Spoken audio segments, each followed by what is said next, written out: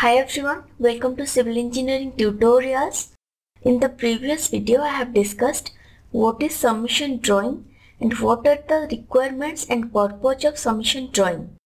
In today's video I will show you how to prepare submission drawing with scale and what is the scale factor of submission drawing. So please follow me on Facebook, Instagram and Twitter to get all kinds of updates. Also hit the subscribe button and the bell icon to stay updated with all new videos. So let's get started. So first I'll discuss about scale of submission drawing. This submission drawing is prepared with scale of 1 inch is equal to 14 feet. Some drawings are prepared with scale of 1 inch is equal to 10 feet and some drawings are prepared with 1 inch is equal to 20 feet. So what is the meaning of this 1 inch is equal to 14 feet? 1 inch is equal to 10 feet scale and what is the meaning of 1 inch is equal to 20 feet?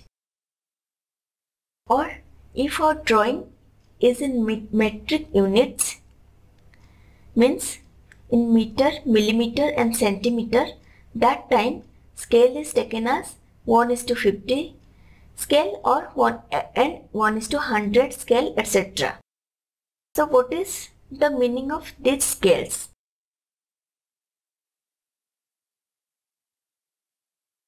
So 1 inch is equal to 14 feet means unit of 1 inch in drawing is equal to 14 feet 14 feet its real size on field. So unit of 1 inch in drawing is equal to 14 feet real size on field. Means in field 14 feet dimension is considered as 1 inch in drawing.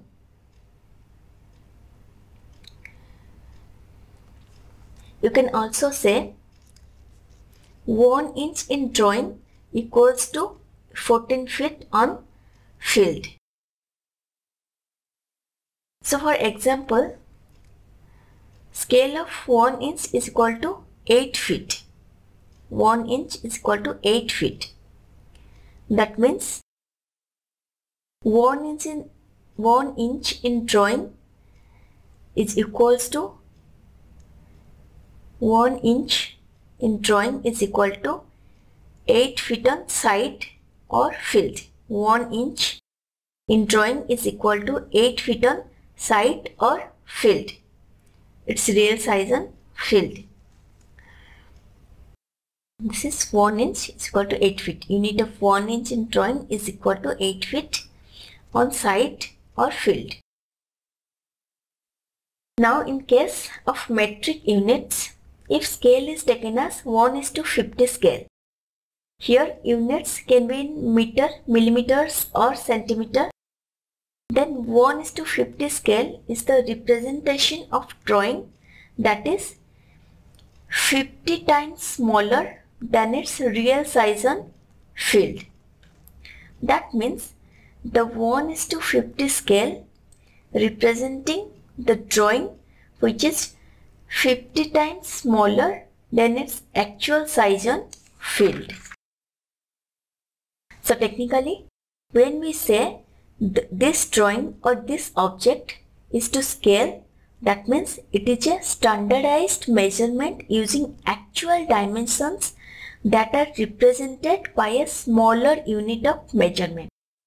These smaller increments of measurement allow us to represent a larger object or drawing in a proportionate way but at a reduced size.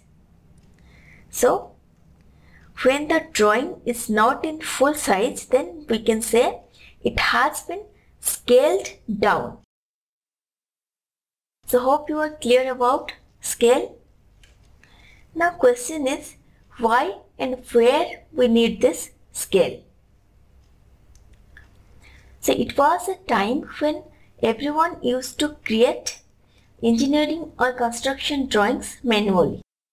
So the engineer had to figure out scale before layouting, laying out on a sheet of paper.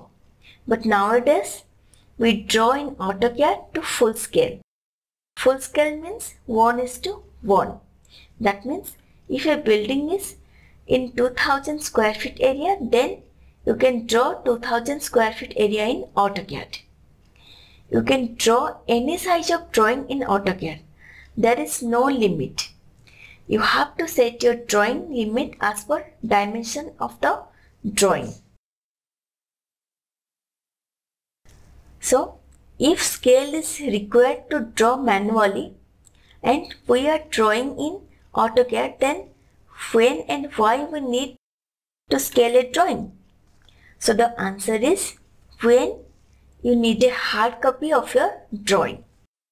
So when you need a hard copy of the drawing, you need to print out it, but at a reduced size and in a proportionate way. Because we can't take printout in 1 is to 1 scale, right? So once you have drawn your drawing, then you have to figure out the border of the drawing based on the type of hard copy you need to produce and scale the drawing to fit within the border. Clear? So here I'll show you in this submission drawing how to choose scale means how to know the scale. So first I'm roughly taking a boundary. So this is a boundary which I'm taking roughly change the layer. This is boundary layer. Now I change the line type also. So I have taken this roughly. Now this is north south direction. First we have to make the floor plan. So this is the ground floor plan This is the ground floor plan. This is the first floor plan. This is second, third, fourth floors are also same as first floor plan. So I am showing all in one floor plan here. This is second, third and fourth floor plan. So all these plans and elevations and sections I have already created separately and all links are given in the description box. So I'll copy all floor plans with elevations inside to the created boundary. So I'll copy all floor plans and elevations to inside to this boundary.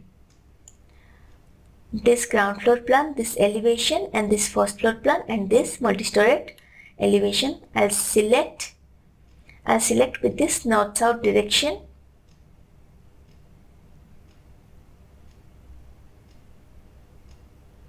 copy. I'll copy to inside inside to this boundary and paste here.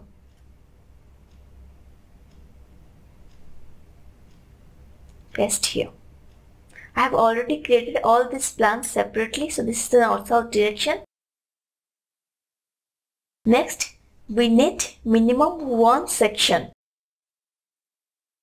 so here I have prepared two sections. One section on XY and another this is section on XY and another section is section on AB which is staircase sectional elevation. So I'll copy these sections also. I'll copy these sections with these plans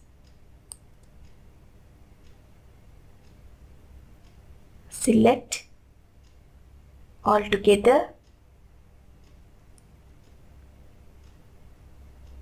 copy I'll copy all copy.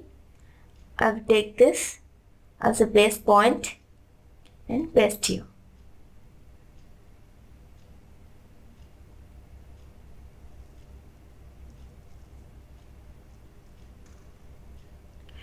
So this is the site plan this is site plan its scale is 1 inch is equal to 20 feet. So I'll copy this and paste inside the boundary. I'll copy this and paste it here. Next, the key plan or which is also known as location plan. This is the key plan. This is not to scale or without scale. I'll copy this, select, copy.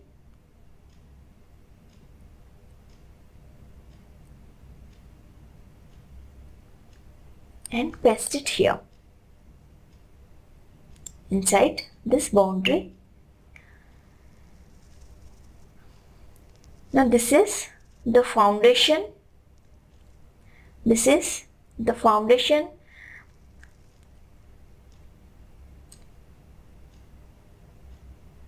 This is the septic tank. This is soak pit and this is the recharge shaft. So I'll copy all this and paste inside this boundary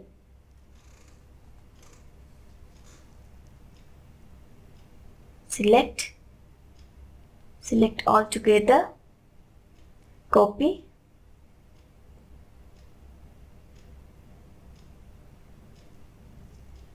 copy and paste it here you can also take base points as per your requirements. I have already created all these plans separately so I am not creating it again here. So this is plan of recharge shaft and this is the section. Now we need to copy the north-south direction also which I have already done so in next video I'll calculate built up area, FSI area and parking area.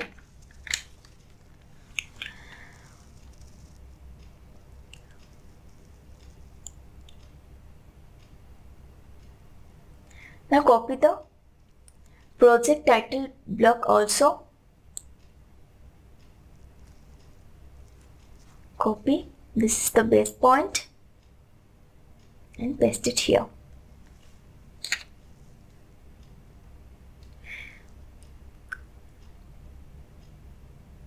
So we have copied all plants. Now the extra spaces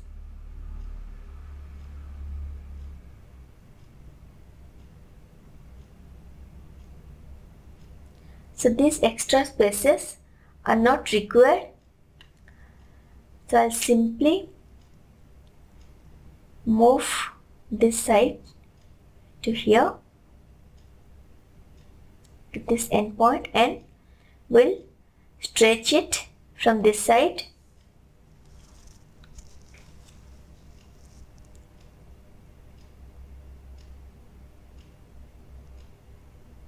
means I'll I have reduced the size of border. Now we have to scale this drawing as per dimension of border of this drawing.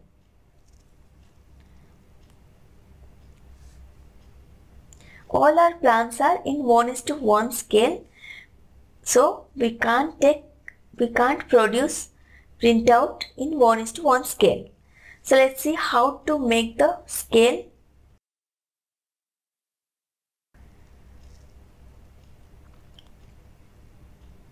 so here this side dimension this side dimension this side dimension of border is 433 feet and this side is 177 feet. So size of paper we use to take printout of construction drawings are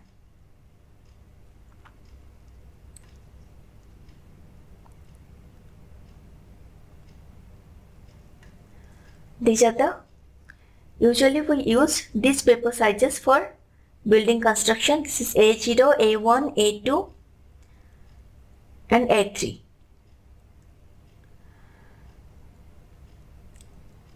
So A0 A0 size is 841 into 1189 millimeter in inches 33.1 into 46.8 inches. A1 size is 594 into 841 millimeters in inches 23.4 into 33.1 inches.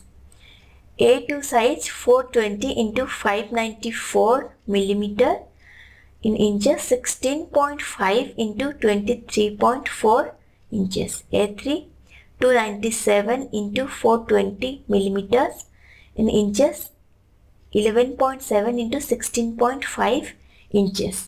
So usually we use these paper sizes for building drawings. Here this side dimension is 433 feet and this side 177 feet. So suppose we are taking scale 1 inch is equal to 8 feet. So we have to divide 433 feet with 8 feet. 433 feet with 8 feet. So we are getting 54 units. So 54 is the size of paper. We have to consider it 54 inches. So let's check the paper size. We have to consider it 54 inches. So let's check the paper size.